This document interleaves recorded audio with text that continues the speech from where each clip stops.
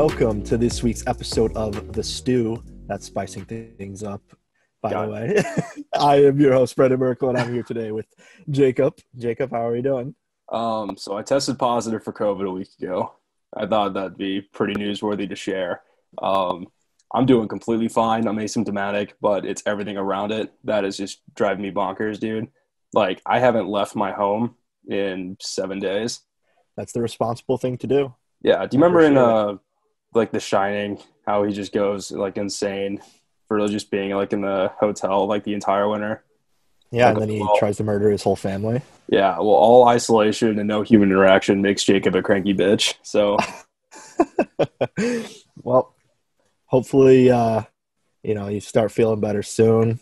And uh, now, now we have two two hosts on here that have once tested positive. I, I had it back in June, and I'll tell you what, I I wasn't asymptomatic. I was hit pretty hard by it. So yeah. hey, we're we're part of the the numbers now. We're statistics. So that was you know what when i was a little kid i just my life dream was to be a statistic man you know what i mean but hey at least on the bright side uh, you and i can like just interact with people now i mean we'll still like wear our masks and stuff because you know like most companies need you to but at, Well, least, yeah. at least you won't give it to anyone or like get it anymore yeah, I mean, I had it a while ago. So I don't know. Um, I don't know how this thing runs. So I'm still being careful. You know. oh dude you're screwed oh hey i just want to mention to everyone listening uh, brennan got a new haircut recently and it looks really good Yeah, yeah. I And just I actually got one like two hours ago. yeah it's looking fresh dude i didn't um I it. I personally look like I've given up on life because I, like I said, I haven't left my apartment in seven days and I'm going insane. Hey, dude, that just means uh, you'll have to bounce back, right? You'll have to glow up. Yeah, I know, I know. It's it's. Um, I've actually been doing a lot of projects since I've been in here though. So, for instance, I um, Building furniture. I've not been burning like or building furniture, burning furniture. That's funny. No, but I um, I'm actually in the process of uh, putting up some LED string lights in my bedroom because I I want to look like a sophomore in college again. You, you got the gamer set up. Uh, not exactly, just because you know I'm a console guy, but I've also been working Fair. on not like pretty much just vocally threatening children on COD. So I've been playing that's- just boatloads of that. Yeah, you gotta gotta hold back sometimes in uh, those COD lobbies, right? Yeah, no, it's you know what our generation we're hard because of how much of that we like played growing up.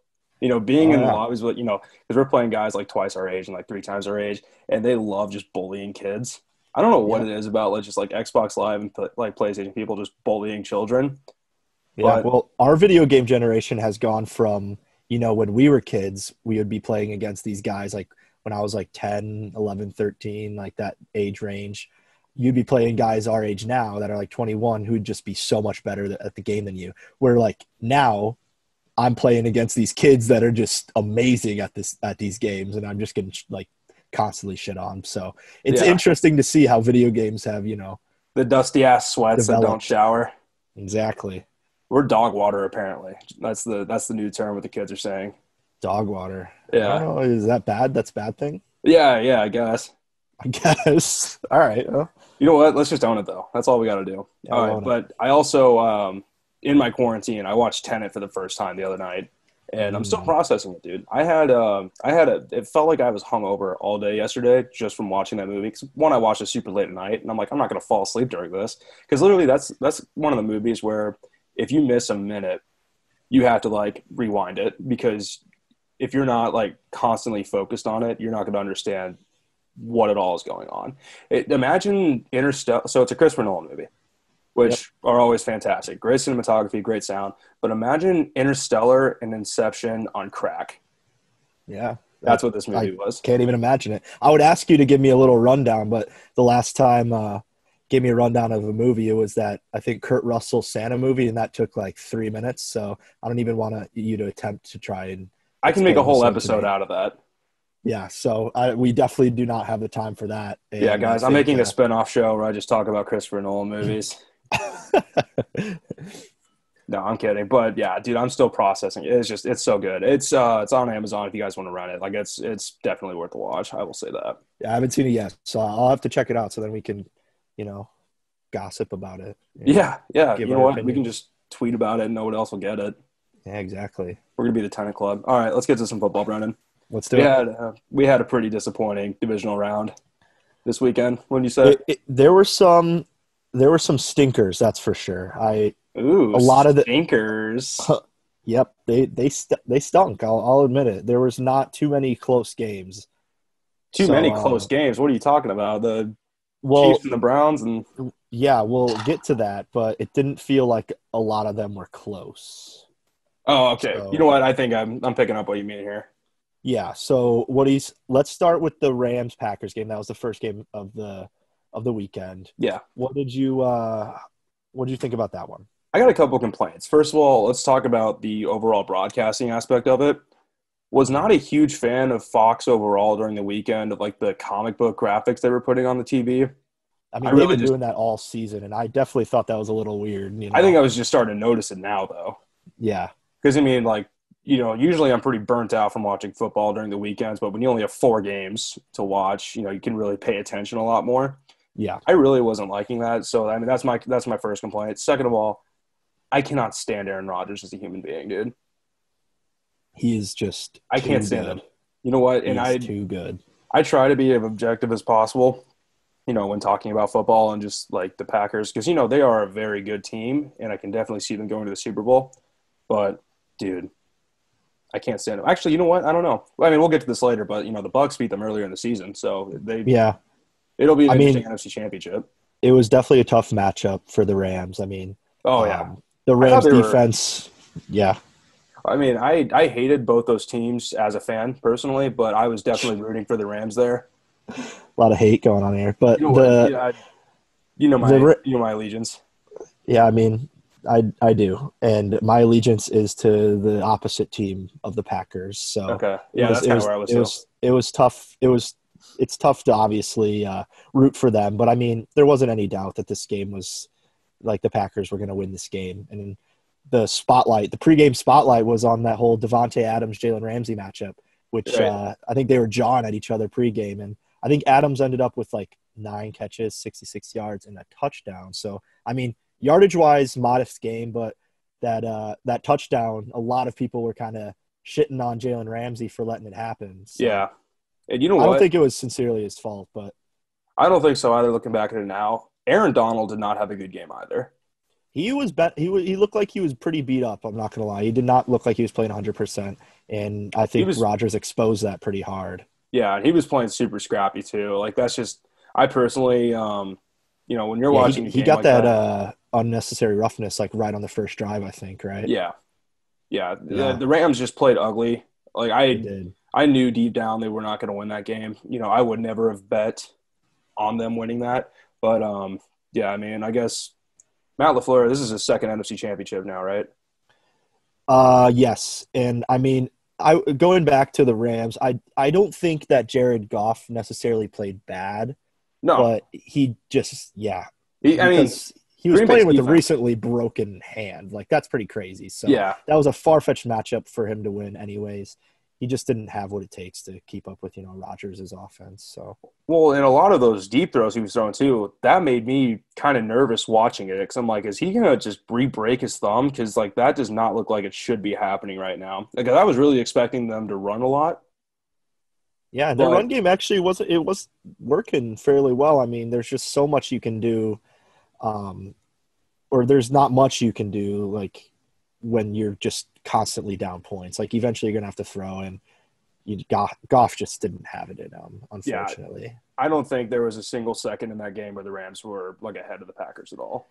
it was pretty evident how badly Sean McVay wants um, a mobile quarterback to run that offense. I mean, Jared Goff is by no means like a, a stoic guy that doesn't move around, but I mean, right? He doesn't have all the movement that they do at the line, it's so sweet. And it's just like, I don't know if he, it makes you wonder if they're maybe going to test out like a, a different quarterback. I mean, do you think that's a possibility for the Rams? I could see that. You know what? What shocked me too, I saw that Blake Bortles was active last week. Yeah, he was. I can't tell like if that's like um. Well, he's their backup, right? Uh, right now, yeah. Yeah. So I mean, I don't think they're not gonna just like bench Goff Right. in that type of game. especially for Blake Bortles. I, as much as I have rooted for Blake Bortles in the past, he was he's always been uh, on my nice list. But he, uh, I just I don't know if I would trust Blake Bortles in that type of situation. yeah, my roommates and I were talking though, but uh, if for some reason Goff went out and Bortles came in, wins the game, and if you if Blake Bortles won the Super Bowl this year, I think I'd have to like take a year long break from the NFL just from like just the amount of shock that would be through my head. Just like they would just have to, yeah, they would have to retire the league. I think give the league the death penalty for one year, pretty much. Exactly. All right, but let's yeah. move on to the uh, Ravens and the Bills. This game was hard to watch because one, as a Chiefs fan, I wanted the Ravens to win that one because that would have been a much easier AFC Championship. But uh, I mean, congrats to the Bills they they definitely earned that win, and that was one of the games. So when you said the games weren't exactly close, this game kind of came to my mind immediately because yeah. this is the only one where the lead was like exactly 14 points, except for maybe the Packers one too. I can't um, put a lot of like evidence to that yeah. right now, but um, anyway, yeah. So that game was it seemed like a blowout because, but it was just it was tough football to watch, dude. And you know what, like props go out to Lamar Jackson. I hope he's doing all right, you know, because he got that concussion and everything. But dude, holy cow! Like that just that was not a fun game to be watching. No, it was definitely not an offensive game, and neither was it a defensive game. It was just super ugly for both teams, honestly. Yeah. Um, and I mean, yeah, like you mentioned, Lamar got hurt. Did you have? Did you think he was going to come back into the game like the last time? No, no. No. Not with like running running back on the sideline from the locker room with like a strand of toilet paper sticking out of his pants like a cape or some shit. or like one of those QB towels that they keep to or they use the yeah, like exactly. white Yeah, Beamer had a tweet uh, last weekend, guys. It was like Lamar Jackson's just gotta take a shit. He's gonna come back out and and win the game. Win so he did game. not win. That was mostly just said as a joke, but yeah, the Bills defense finally showed out. I mean, they shut down Lamar's run game up before and, and he got that's the one way, you, or that's not like the one way, but that's that's the best way you can beat the Ravens. Like it really is. It's the same Slow thing with down. the Titans too. Like you shut down running games, then the game's yours. And also the goat Justin Tucker missed a couple field goals, which was yeah. I was very surprised to see. I was kind of sad about that because I, I, like him a lot. He's such a beast. Well, there were people speculating on social media that they were going to cut him from the team just for that. I'm like, he's one of the best kickers oh, in the come NFL. on. He had a couple. He had a rough couple last weeks, but I mean, there's that's what the Bears totally missed out on doing that when they parted ways from with Robbie Gould a couple years ago. And look what has happened since then. They didn't have a consistent kicker for years until yeah. this year finally. But they're the Ravens are not going to move on. I think Justin Tucker is probably one of their all-time highest scorers. I would guess he's been incredible for them. Yeah. In long runs. So that would be surprising. I don't really know how old he is though. He's probably getting up there. I agree. And still, congrats on the Bills. Their fans definitely yep. deserved this win. Yeah, and did you see uh, that they the Bills Mafia raised all that money for Lamar's uh, um, favorite charity? Charity, yeah, yeah, yeah, yeah. I saw that. It was uh, up to a little over two hundred thousand dollars, I think. Which yeah, I saw that. You know what?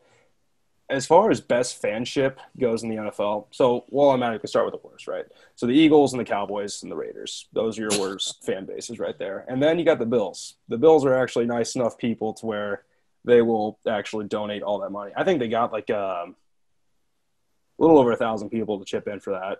Yeah, so I a lot of people were like debating if that was like a you know backhanded like kind of. I wouldn't insult. say that's backhanded. I wouldn't say that either. I I thought it like they it was a sincere thing to do, and Bill's Mafia, dude. I first thing when COVID is everything is all cleared up and things are open, you know, everything's safe again. I think the first thing I want to do is road trip into Buffalo. Road trip into Buffalo. I'm I want to attend a Bills tailgate so bad. Let's I want to break through a table, you know, jump from an RV onto a table, get beer all over me, you know, just one of those type of days. Like they just look like they're having the time of their lives every weekend. Yeah, well, Brennan, uh, us being co-hosts, I feel like this has to be a uh, two-way endeavor. That's fair. We'll make a trip out of it. We can can document it. Sounds good. And getting back to the charity part, I think it'd only be backhanded if they like rob the charity. Yeah, that would because any money awful. you give towards a charity is automatically going to be a good change. You know, like that's not something that could ever be looked upon as bad. But like, watch, Yeah, like I you know, if they wanted to be really petty, they could just go and just be like, "Hey, this is we're robbing this charity." RC, That would give that would be pretty horrible. yeah, I know, I know, exactly. And I'm just speculating here. I'm never, I never condone violence, and I would never let that happen. I would go there and stop it personally. yeah. All right, let's move on. Chiefs Browns. Brennan, Oof. I hate it. Do you, do you want me to start game. this, or do you, You- want? Do you, You start this. I uh, right. need a second to cool down here. All right. Well, I just want to say first off, Henne time, Henne where Chad Correct. Henne came into the game. Um, I mean, this game seriously, it went perfect for the Browns in order for a win. Um, they couldn't have been handed a better situation, honestly. Yeah, But because Patrick Mahomes, as everyone knows, went down uh, second half, right? yeah, like right at the start of the fourth quarter. Yeah, with the concussion. But before that, he looked pretty banged up. With the, he looked like he was dealing with another injury. Was that? Is that anything? Like so I can't. they were more worried that um here I got I got Andy Reid's quote for you um right Mhm. after the game here. So Andy Reid said he got hit in the back of the head and kind of knocked the wind out of him. He's doing great right now, which is real positive. Passed all the deals that he needed to pass, so we'll see where it goes from there. Just talk to him. He's doing good. We'll see how he is tomorrow, but right now he's feeling good. Yeah, I mean, Adam Schefter just tweeted not like today that he is still in the concussion protocol and that it's actually too early to determine his status. So, Yeah. I mean, that that's that's going to the next game, so we won't talk about that too much yet. But Right. Uh, but I agree, though. The Browns were handed a very good situation, but their defense is just not very good. But a lot of people were saying that uh, the Browns should have had, like, the Browns should have had that game because Daniel Sorensen, one of the Chiefs' uh, defensive backs, uh, there was a pretty dirty helmet to helmet hit that the refs didn't call. That Captain was right, Dan. yeah, right of the Browns end zone, like or right of the, yeah, Brown side end zone, and that pretty much sealed their fate because they didn't score again after that. dude, that what do you think about that? I know uh, So without bias, what do you think about that play call in the NFL? That's I The will agree that call. like that should have been called. That 100% should have been called, but refs don't see everything. I don't Yeah. think I, no, I will- the the the unnecessary roughness like that should have been a targeting hit for sure. But what do you think about the whole fumbling into the end zone being a touchback and the other team gets it back? Like, what do you what are your opinions on that like call? I think that's valid.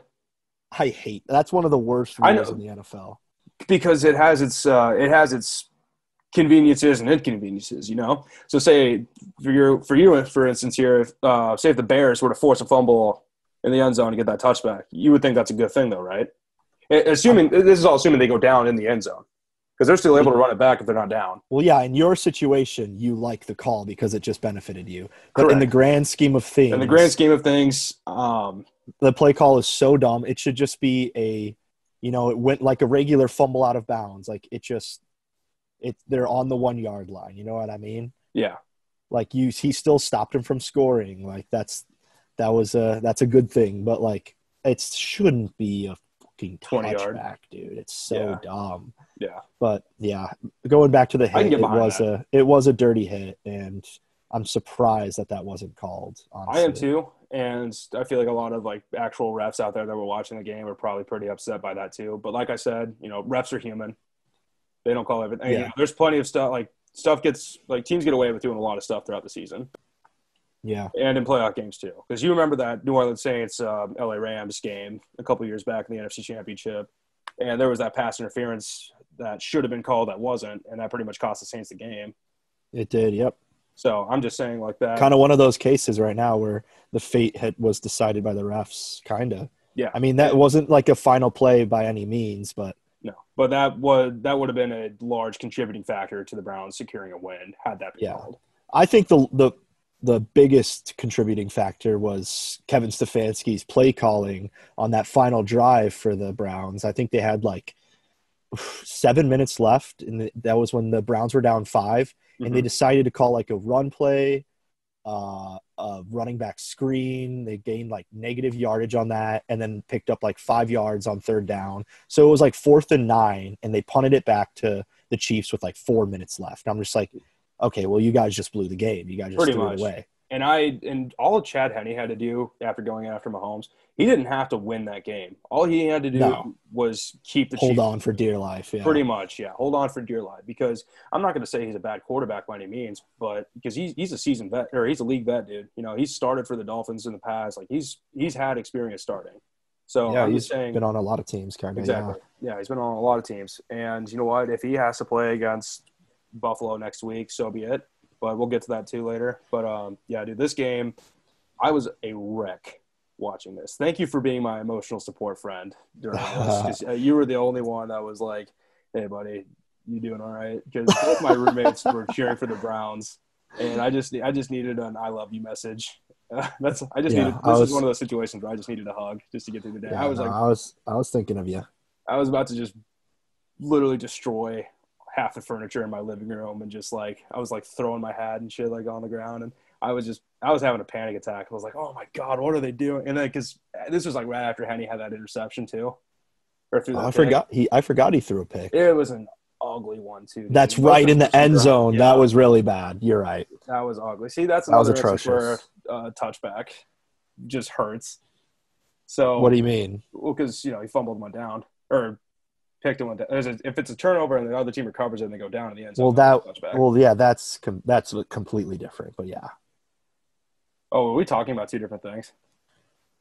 well, yes, we are because when you know when when he fumbled it and it went out of the back of the end zone, Oh, it went out. your team, okay. yeah, your team didn't recover it. Yeah, It just went out of the. Like, you know what I'm talking about? That rule. yeah. I was on. Yeah, okay, my bad, dude. I was under a completely different impression. Oh no, you're good. So I, I that's do. I do that's agree. That's a very dumb rule. I Yeah, 100% very dumb. Agree. Okay, But I'm yeah, glad we're on the same the- page finally.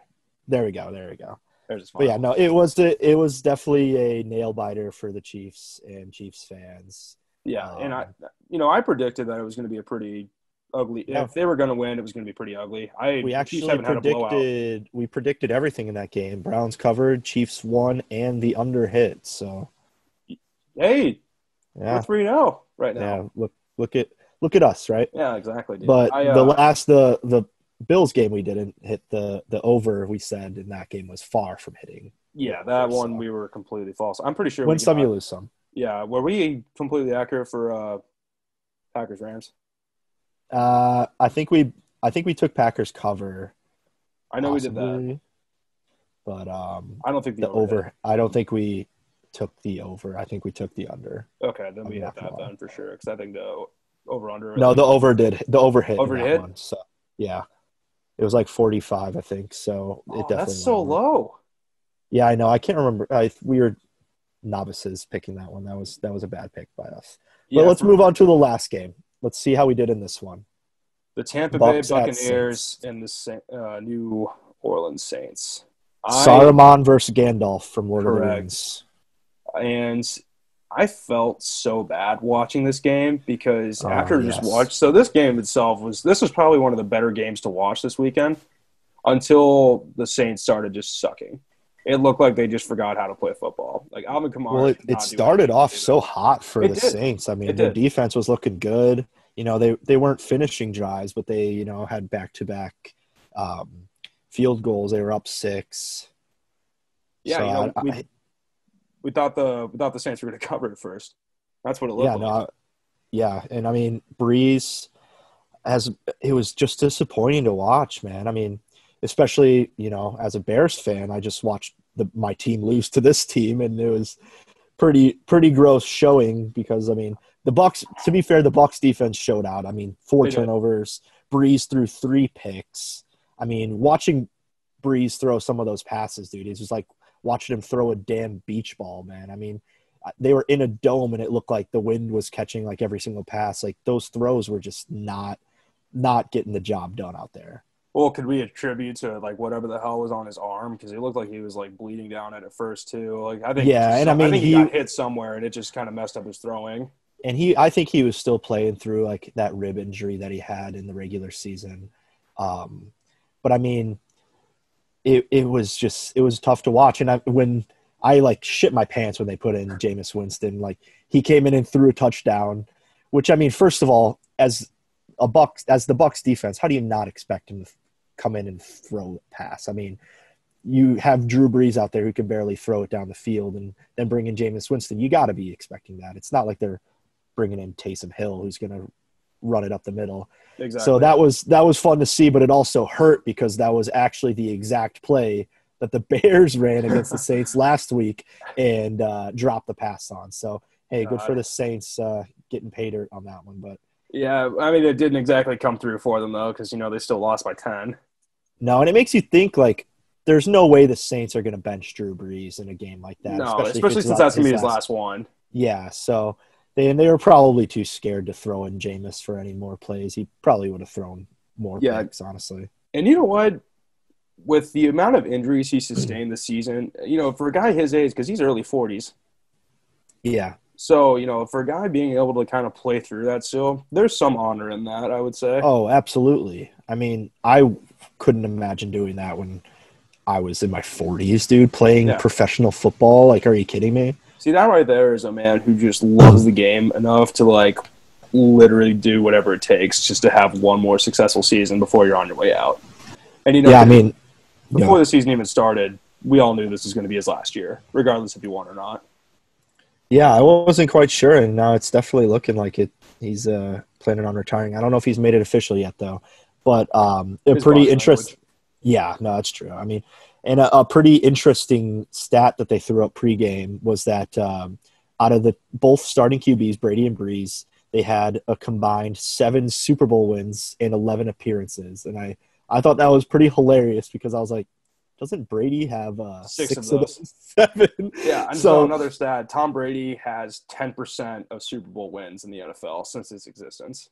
See, that is just crazy, dude. I mean, that, should be that reminded me of like the like Wayne Gretzky stat with his mm-hmm. brother, um, because they were like the highest scoring duo in like hockey history, um, points wise. With Wayne Gretzky having like twenty eight hundred something points and his brother having four, so it's like that was literally the comparison between the two. I was like, you can't really. Uh, no, that's it's literally only like so the Gretzky brothers, for instance. That's only because they have the same last name. They want to make it a cool stat if they combine. Exactly. But when you really look at it, you know Wayne Gretzky's obviously the goat here in hockey. Yeah, he had ninety nine percent of all the points.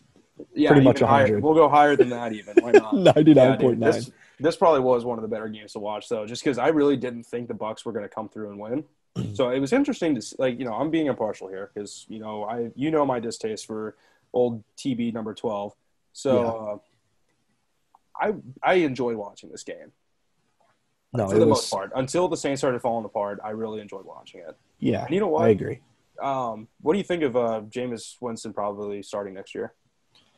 I don't. I honestly, the Saints, there's something up with the men. I don't see them starting Jameis Winston. I think they'll go the Taysom Hill route. Honestly, I could see that because you know they're not going to have a good enough draft pick to get a decent quarterback. No, and it, it's annoying, honestly, because I think Jameis deserves another shot on a team, mm-hmm. and um, it was pretty cool though seeing him come in against his former his former team and just throw a fifty yard touchdown. I I, I loved that, but yeah, because he got drafted by the Bucks, right?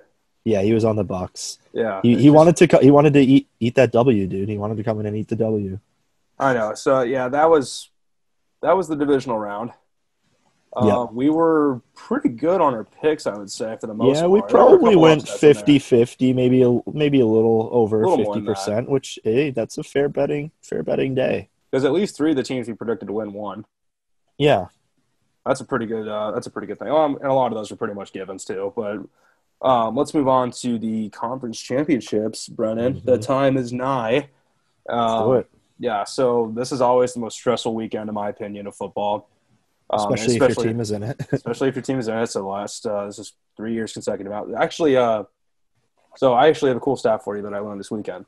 So the Chiefs are the first team in the AFC to host three consecutive conference championships. And the only other team in the NFC that did that was the Eagles when Andy Reid was on that team. Mm. So I think Andy Reid just really likes conference championships and wants to just keep going as like get as many consecutive as possible. No, no, absolutely. And I mean, Chiefs fans like you guys are spoiled rotten. Like, I oh, I know, I'm hear, horrible. I don't want to hear you any complaints about being, you know, anxious about the games. You, you guys are just spoiled. Well, you like to see your team win, you know.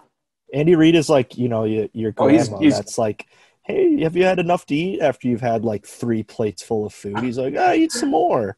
He's literally, literally that. So Dude, that's one of the best comparisons I've ever heard. Of. I That just came up with that on the spot. Thank you. Yeah, you know what? Yeah, Brendan's a big improv guy. Congratulations. All right, so first up, um, so the 205 game Central Time is Yep. the Bucks and the Packers. Yep. So what do we think about this one? So the line's at three. yeah. And the over under 50, 51. 51 yeah so i this game is actually pretty tricky because the bucks are one of the only teams that could beat the packers this in the regular season and if They, they, were just the, Saints, one like- of the only ones who did. Yeah beat them 38 to 10. yeah Um, it wasn't that- even like a close loss No, and that was uh, that game was because they were able to get a lot of consistent pressure on Rodgers, and um, the Packers did also have like a half healthy Davante because he had just come back from missing a couple games. Yeah. Um, and I just want to throw out there that uh, the Bears actually beat the Buccaneers this season, so I mean it's no biggie. Um, but anyway, back to what we were talking six about shout out bro the the Bucks this week get back Vita Vea on their defensive line, Mhm. who I think was on like the COVID list or something. So that's that's some big help. Nebraska former alum Ndamukong Suh, he looked like prime time Suh out there. He's he doesn't that play big like used attack. to. Dude, he was looking. He know- looked really he's- good. he's still really good but he's not like there's not like a dirty aspect about it anymore you know well, that's to, good. step That's players, honestly, like, yeah, no, it's stuff. probably for that's the probably best. for the best you know what yeah represent us in a positive way Yeah, but I mean, if that if that D line plays with the same head of steam as they did last week um, against the Saints, I think that'll cause some problems for the Packers' offensive line, which is you know they're Absolutely. And you know what? So the Bucks want this Super Bowl, dude. Like Tom Brady, like him going Oh, to the absolutely. Bucks and signing a one-year contract, that was a it was for it was for a Super Bowl. Yeah, Yeah, he was like, "I'm going to turn this team around, and we're going to get a Super Bowl this year." So pretty much Yeah. everybody that I like, except for Julian Edelman, like come with me. But um, yeah, this game is going to be a toss-up in my opinion. I think yeah. I mean, after saying all that, luckily for the Packers, they have Aaron Rodgers and really two really good running backs and arguably the best wide receiver in the league. So, I mean, three the spread being three, dude. I, That's scary because the only reason that you know that um, that Browns cover was a lock because of how big that spread was, and we're able to Yeah. determine that you know the Chiefs haven't been covering lately. Like all their wins have been kind of ugly since after the Jets win, and you know all those games have been pretty close. So that was Yeah. just kind of a dead giveaway. But like you know spreads this small, those are always kind of dangerous, in my opinion. So I want to say, so pretty much whoever we pick this spread for is who we're picking to win the game, essentially. Yeah, and I I'm going off of the Packers. Their defense has been good, and I mean that's because you know they're one of the more well rested units because of how controlling Rodgers is on offense. I mean he can just go out there and you know let his guys rest up for seven minutes, and they're just a scary team, dude. I think um, Yeah, I think people would probably need to hop on this Packers cover soon before it goes up than more than three Yeah. because I think I think the Packers are I think they're going to win and I think they're going to cover that. Yeah, and you know what? The Bucks definitely do have a chip on their shoulder this year. I definitely could see them winning as well, but Mhm. I'm going to go head with the Packers here because, like you said, Packers defense is looking pretty good, and all they have to do is shut down Brady. Yeah, and I it's kind of like than capable that. They got home field advantage too. yeah, it's like this matchup because I compared you know Brady and uh, Brees to those old wizards from you know Lord of the Rings. This one is more. I'm making a Game of Thrones reference. Rodgers is the Night King, and Brady's coming in from Jon like Snow. you know. No, he's he's like Tywin Lannister. He's kind of still like a bad guy, but you know, you'll root for like the the guy who's alive at least. you Rodgers is like. You are oppressing these middle-aged age Hey. groups here. it's I'm not I'm not trying to be oppressive, but I do. I also want to add in the fact I don't know if you saw this, but a, a Packers fan, yeah, you've seen the whole sea shanties like meme, like all of that pickup recently on social medias, right? I listen to like ten of them every day in the shower. Come on, Oh, absolutely. I've I, I have a perfect playlist I can send you that I found, but um, send it my way, bro. it's it's after hearing this, it, you won't want to. Sea shanties are dead because a Packers fan came out and made a sea shanty about Aaron Rodgers, Come and on. you know he, it was it was disgusting, and I hated sinful. it. And That's downright sinful. It was. It really was. But It's hedonistic, Brennan. honestly, it doesn't really change my uh, my pick. I think this team is scary, and I think they honestly look like the best team right now. And if they win the Super Bowl, I wouldn't be surprised. And that would be like the first of the four horsemen of the apocalypse arriving is the Packers winning the Super Bowl. Something bad's going to happen after that too. So Yeah, tell me how you really feel. Um, so yeah, I'll, I'll just okay. We'll uh, we'll decide here. So Packers cover and Yep. over fifty one, right? yeah, I think I, think, the both points teams should hit. capable of high. I'm hoping for a good game, so I I I think the points will hit. but Yeah, and I'm kind of hoping for. Packers cover. I like kind of uh, so I'm kind of mixed feelings about like how these games are arranged because for one, Yeah. you know, you know, as someone who has a team in the AFC Conference Championship, you want that game because last year I had a much more fun time watching that game because of how early it was. I was just able to get it out of the way.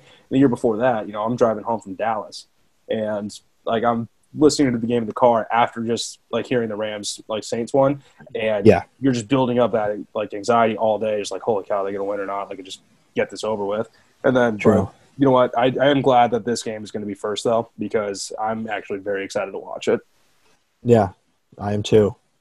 moving on the Buffalo Bills and the Kansas City Chiefs I almost Yep. just I have a coin in my hand right now I want to flip it to see who I want like who I think is going to win this one All right, who's who's uh, tails? Who's heads? all right heads Chiefs tails Bills Wow, fail. That's not a good call. heads Chiefs let's go Oh, let's go. Let's go. Let's go. All right, but in all seriousness, though, so uh, Mahomes what's the what's this line at three as three, well? yeah, over under over under fifty three. Jeez, they're really uh, predicting some high scoring affairs here. Oh, this one I don't think it's going to be that high scoring, dude, unless the Bills are just like wiping the floor with them. Because this The game, over is definitely the like the pick that a lot of people are going to be eyeing, and I think I I could see both teams kind of coming off to a slower start. I see that too. Because you know what, watching both of these teams throughout the year, they have a message to send early on in the games to their like whoever they're playing, but then you see them kind of fall off a little bit because you know at least in the Chiefs case too, you see them um, they're really only playing well where they have to, and you know I'm a firm believer in this saying: sometimes it's better to be lucky than good. And I feel like that's been the case with them for a lot of games this year because they have just barely escaped a loss. So I'm just going to say this. This game is going to depend on if Patrick Mahomes is starting or not. I agree. It all depends on that. So typical concussion protocol in the NFL is 19 days. And I really don't think Mahomes' issue is that bad. So I'm just saying he could be playing in this game. No, I say even if he, I think he's going to pass it no matter what. I think they're just going to kind of kick it under the rug. Even and honestly, regardless, he's going to start. Even if it's going to be some like uh, weekend at Bernie's type shit, they're going to carry him. out. He's just going to be, you know, visor a little bit darker than usual. Like he, he he's going to start this game. the Kansas City Mafia is going to be forging his concussion tests. Yeah, exactly. Yeah, no, I but mean- um, even if he doesn't play, which you know I'm praying to God, but Chad Henne, I think he could hang out this game. Should he start? Because the Chiefs have so many offensive like offensive weapons, Brennan. Like this is going to be just insane to watch too. Because you saw that he was like definitely making use out of Tyreek Hill and Travis Kelce in the last game, and that was helping them not lose. So, but the thing is, though, the Bills have a very good defense They their defense isn't bad. They looked good last week against the compared to what the Chiefs' offense could be. the Ravens the Ravens offense to be fair is a complete 360 to what the Chiefs offense is. So it's uh it's going to be a tough task for the Bills to just go from, you know, game planning on defending Lamar Jackson to game planning on possibly defending, you know, Patrick Mahomes, which I'm guessing they're going to game plan for right. regardless. But like you were saying, ah, Chad Henne, he's definitely a good enough quarterback to cruise a team to a win. You know, when they're already up a couple scores. But I don't I, think he starts I am not. I am not good. willing to bet on him to win an AFC championship. Yeah, you know what? I I do think defense is going to have to play a pretty big role here. Chiefs defense is not that bad. Steve Spagnuolo is a great, great DC. Yeah, But and you know what? They were able to hold like you know a Baker Mayfield offense to less than twenty points. So I'm pretty confident in that. But is Baker Mayfield at the same skill level currently right now, like offensive weapons and like all that to take into factor? Is he comparable to Josh Allen in that? And to me, absolutely not. But the Bills' offense was slightly concerning last week. I mean, there was a point where they had like 18 passing plays versus one rushing play, and it was Josh Allen that rushed it. Mm-hmm. And I mean, they only put up 17 points. Six of those points c- came off of a red zone pick six by Lamar. Um, I mean, Ra- Ravens' defense is slightly better than Ch- the Chiefs, obviously, Right. but I still think Allen. He looked a little shaky out there. I mean, he was missing deep shots early that he rarely misses, and I mean, this is a young kid that does not have m- any playoff experience, and he's going up against the reigning Super Bowl champions. So I mean, I my pick does depend on Mahomes' health, but I mean, I think if he's health healthy, I, I believe the Chiefs win, and I think they cover. Uh, I just I think the Bills aren't quite there. They're close. They're just not there yet. Yeah, and I, I it does comfort me to know that the Chiefs have you know played Buffalo already this year and beat them in Buffalo. So in this game's you know Yeah. like I don't know if I said this last week or not, but home field advantage does mean a lot to certain teams depending on their fan Oh, base, absolutely. especially this year because you know a lot of teams still have to play in empty stadiums, so you can't really say like oh you know what like our fans got us and stuff like that. Like it's going to be a great environment to be. Yeah. in. You know, Arrowhead is one of those stadiums that's allowing people in. Yeah, So I definitely think spreaders. that could have. Yeah, those but, uh, Kansas City people. yeah, I know. those We're- folk. we're Those awful bunch. Missouri folk. yeah, we're an awful bunch. Uh, sue me, but um, I do think that just the Chiefs could win this one. Very, I wouldn't say easily. It's going to be a very hard fought game, but I do think the Chiefs got this. So I'm going to say Chiefs. So, what is your uh, what is going to be your pregame like? Just what are you going to do to prepare for this one? Being a Chiefs fan, oh my god. Um, well, so my girlfriend just got back from California today, so I'll be probably be cooking Right. dinner like during this game, flex. but I'll be um, be drinking heavily. I'll be off COVID protocol, so I, I can be. I am going to. Um, you know what? I almost want to wear a Chiefs jersey and break through a table, just to flex on Bills fans. But they're such nice people. Like I would feel so bad if I did anything to diss Bills fans this weekend. and you'd have to break one of your own tables. So I don't. That's they're pretty cheap. You know, none of those tables cost. You're gonna go buy one just just to do that. I've done it before. I'll do it again. Oh my gosh. I'm kidding now. But uh, what are you gonna do to prepare for it as a non-cheese fan? I kind of want to hear what you're gonna do to watch it. You just gonna I mean, yeah, I'm just drink. Text I'll me if you start feeling sad. yeah, I'll, I'll I'll be definitely be keeping in touch with you, seeing how, how you're feeling. But I I do think that uh, in in three weeks, right? Because the Super Bowl Super Bowl Sunday is February sixth. Yep. I do think February that 7th. uh, so February seventh. That's right. That's Sunday. Um, I I think that uh, the Super Bowl is going to be a Chiefs Packers. That's And my prediction. I think that is very much going to happen as well. And you know what? This is the uh, the 60 year rematch. Yeah, and I mean, I as much as that matchup doesn't really you know Hold up excite, anymore, but excite me too much, but I do think those are two really good offenses, and um, I don't know, dude. That Packers team, they're scary. So, and it'll be in Tampa. So, I mean, if the Bucks end up winning, pulling that off, they'll pretty much be playing the home game. So I that'd be pretty cool too. I, I do think so too. And just honestly, I think this is going to be a good Super Bowl regardless. Any team that's getting to the Super Bowl this year deserves to be there. Yeah, it was a it was a crazy year, and it's kind of it's kind of sad that it's we're getting to the end of it. But Bittersweet tears. That's what I'm feeling right now. yeah, no, it's true. I'm choking up, man. Hey, speaking of choking up, we uh we kind of hit on it earlier, but we had one of the greatest possible uh, or greatest quarterbacks possibly play his last game in the NFL, Drew Brees. So, yeah, he Yeah. um he made me really sad watching the TV because um you know he was like looking back at his family and stuff like in the or he was like blowing kisses to his family and stuff like after the Yeah. game he was like looking back like when he was going to the tunnel there, I, Yeah. I would say the photojournalists that took pictures of him doing all this stuff first of all they deserve a raise because they hit every uh, like ethos and pathos like out there All right, they, guy. they- yeah, they hit everybody. And um like dude, just Drew Brees, he had one hell of a career. He did. He really did. Because, So- um, yeah, dude, I don't even. I'm speechless. Like, Yeah. good for him. Because you know that- we grew, we grew up with this guy, man.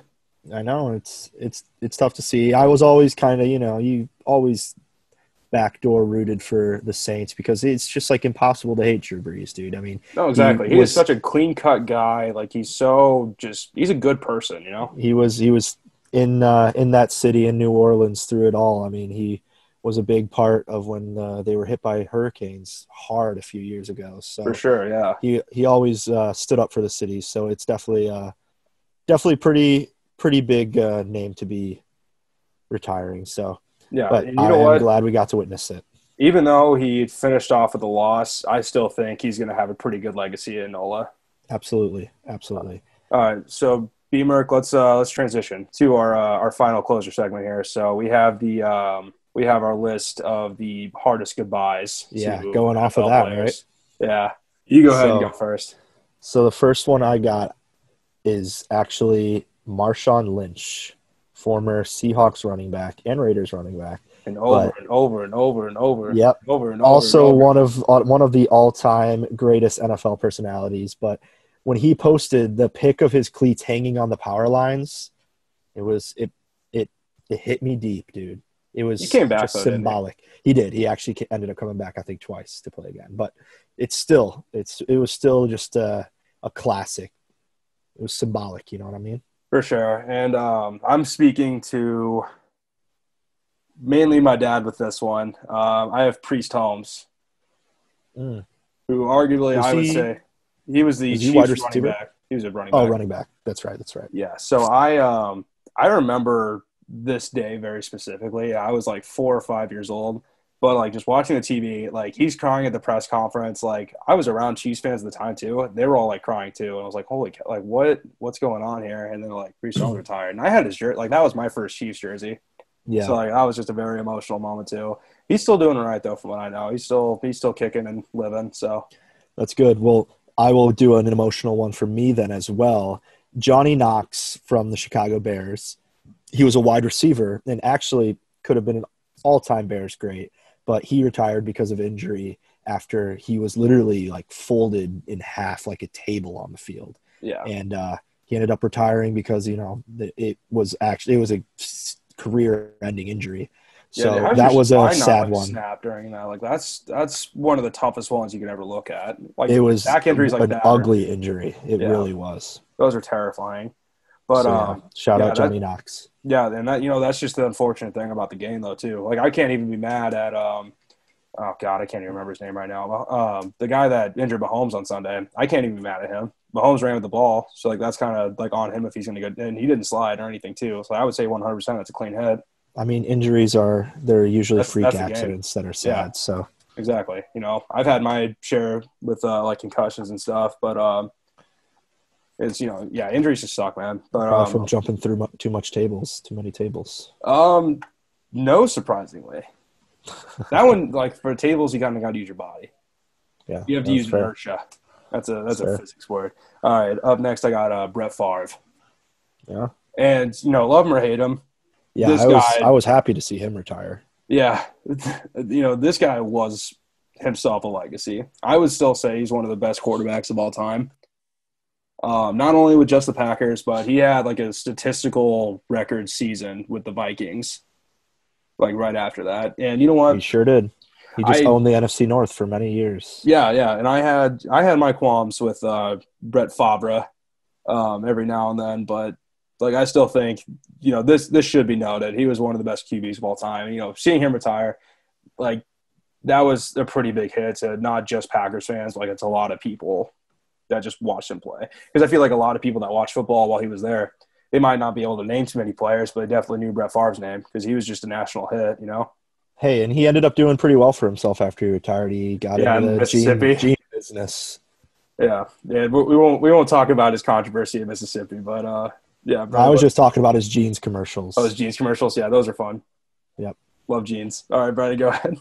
All right, this uh, next one I'll do a little two for one because they're both they were both on the same team.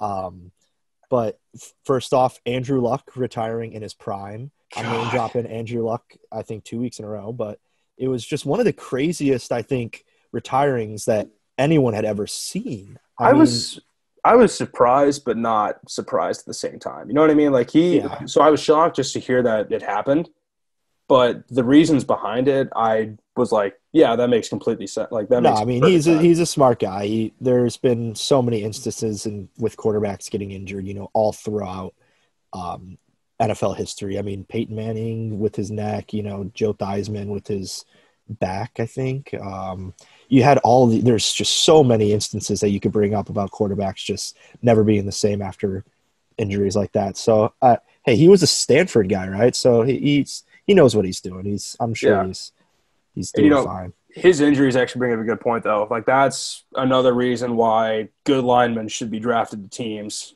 like every now and then because that is an overlooked position a lot. Oh, absolutely. Because Um, his his linemen are one hundred percent the reason that he retired Well, yeah, and it's it's tough because the Colts line has been pretty good since then. So since Phil Rivers. yeah, so and then the other guy I got on the Colts was actually Vontae Davis when he uh, Oh, nice. retired at Okay. halftime of a game because they were losing, and he just he just quit. So That's that's more. Yeah, that's not even like sad. That's just memorable. Like yeah, it- yeah, that's exactly. It, it wasn't a sad one. It was just hilarious. But um, he was all he was really good, and I, it was sad because after the game, you know, everyone was like giving him shit.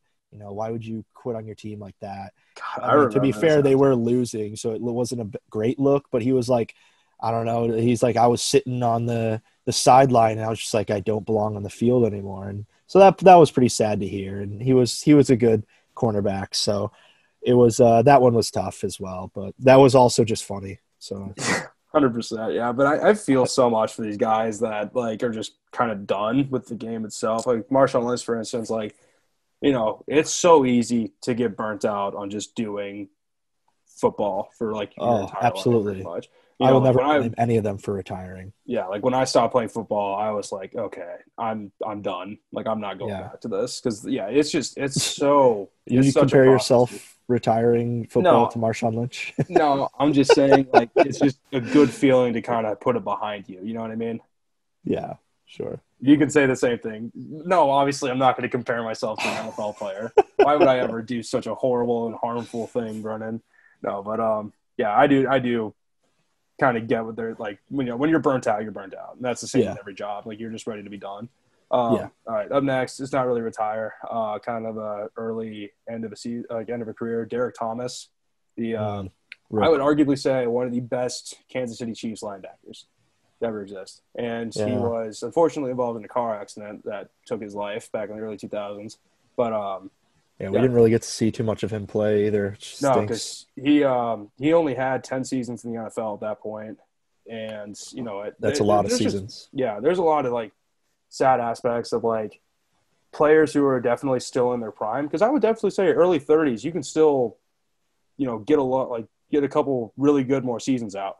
I mean, that's um, yeah. He died young in comparison of what the usual age of humans dying is. So Yeah, exactly. career-wise, NFL, it, it might have been on the He was definitely a league vet at that point. yeah. So it definitely super sad. Yeah, hundred percent. So yeah, Derrick Thomas. I actually, um, I was literally like finger on the mouse, gonna buy a Derrick Thomas jersey this year, and I'm so sad that I did. And I was just like, God, I gotta do it. I gotta do it. Hey, there's like, still yeah, time. There's still I know. time. There's I can time. do some I, convincing. If the Chiefs win the Super Bowl this year, I've made a bet with my roommates. I have to spend as much money as I can on a Patrick Mahomes jersey. Uh, pick someone cool, man. What? Pick, a, pick someone you know. Like- right. I should get a custom Jackson Mahomes jersey. Just put like Jay Mahomes on it.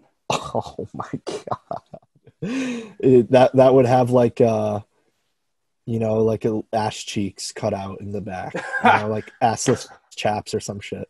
And the jersey on the front is just like ripped down the middle and yeah, like some up like a vest. like some ripped jeans or something. yeah, I got the but, jerseys ripped uh, off too.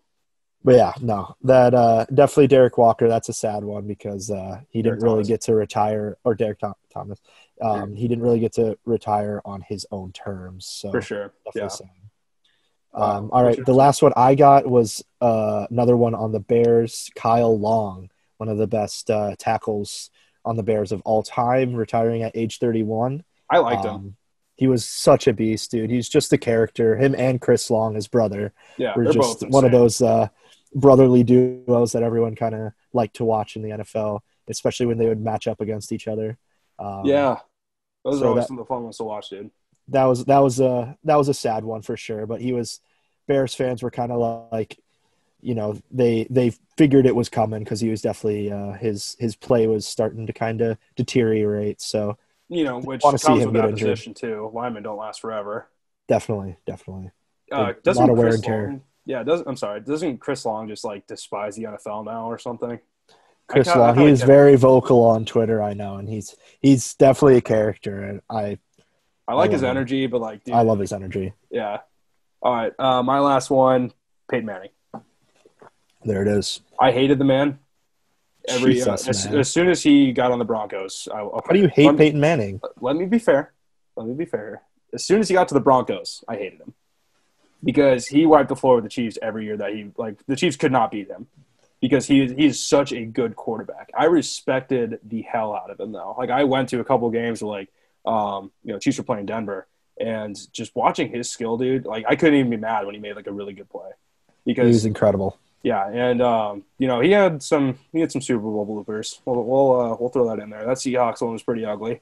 Um, I mean, those were those were definitely towards the end of his career where he was not uh, not in his prime. So, but hey, he retired. Probably one of the most memorable retirees. yeah, of right after a Super because Bowl against Cam Newton, dude, that was actually like electric. I was rooting for the Broncos that entire game because I mean I had I nothing against the Panthers, but Yeah, like I knew it was Peyton Manning's last game regardless. yeah, that's what I'm hoping happens to Aaron Rodgers this year. I hope he just you know wins a Super Bowl and retires. Yeah, I'm a sucker for storylines too in the NFL too. It's like I mean, like there could be a player that I just absolutely despise as a person, um, like Peyton Manning, for instance. But I will still root for them in the Super Bowl if I know it's gonna like because you want you want them to go off on good terms, you know.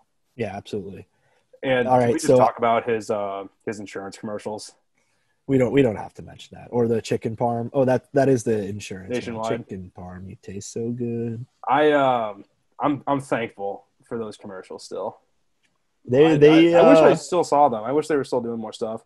it's like a nostalgic kind of thing for you now like thinking back on those commercials peyton manning was like the he was like the star of the nfl then he was in all of them he was in the papa john's commercial before papa john's uh said some things and Before Papa Sweats. John was canceled. before he was canceled and Yeah. sweats pizza grease but hey all right i have some honorable mentions here just Okay, before we wrap this up um gronk because when he retired it was pretty crazy even though then he came back Right. But um, then I, I also have Joe Thomas because he was the one of the best O linemen like of our lifetime, and he didn't miss like a single snap. I want to say for like ten seasons, and then and retired. impressive.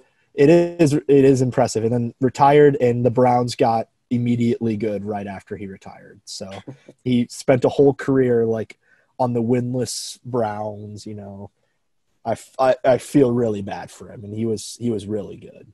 For sure. I would say one honorable mention for me is Jerry Rice. Oh yeah, He was definitely a very like influential player. oh yeah, absolutely. He And could have just, broken so many more records too if he played longer. Same with uh, Barry Sanders. for sure. Yeah. They could And, have um, set records for eternity. exactly. Well, that's our show. Sorry to leave it on kind of a nostalgic, depressing note, but we'll try harder next time, I guess. I don't know. Hey, But no, yeah, it's not not depressing. it's it's good to we, uh, remember these people. Yeah, definitely. It's always good to look back to the vets. Exactly. Oh, and uh, Brennan, I think we should share our exciting news for next week. Um, we will officially be in studio.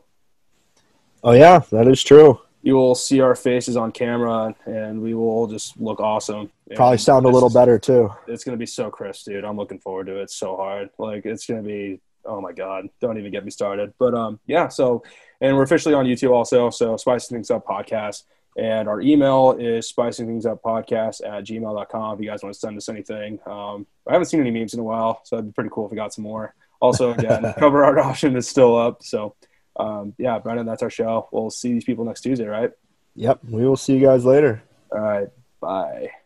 That thing bleeding to the, you know what I mean? Walkie slash. That thing bleeding, P.